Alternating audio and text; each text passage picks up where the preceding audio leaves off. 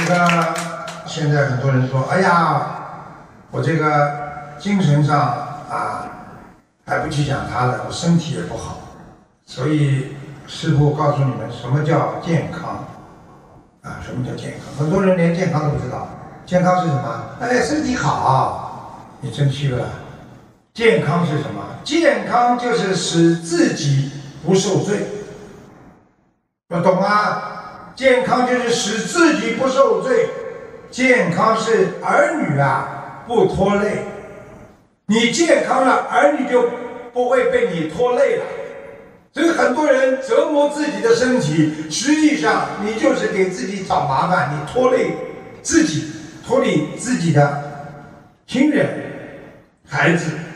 健康啊，就会少拿医药费。康就能结攒你的养老费，啊，健康那是一种无形的资产。你们今天有身体，你们还能出来渡人呢，还能念经念得动吗？如果你们今天都是念经都念不动了，你们坐在观音堂里面，整天念两次经，马上就睡着了。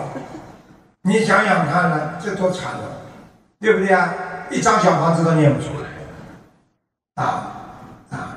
所以这个疾病是一种恶性的透支，啊，所以生病了，透支了，家里财务透支了，啊，大病会倾家荡产，啊，大家懂吗？啊，辛苦奋斗几十年，一场大病回从前。你刚刚看生病能生吗？现在生病生不起呀，对不对啊？爱妻爱子爱家庭啊，不爱健康等于零啊。所以每个人都要学会爱健康，爱就等于爱众生，对不对啊？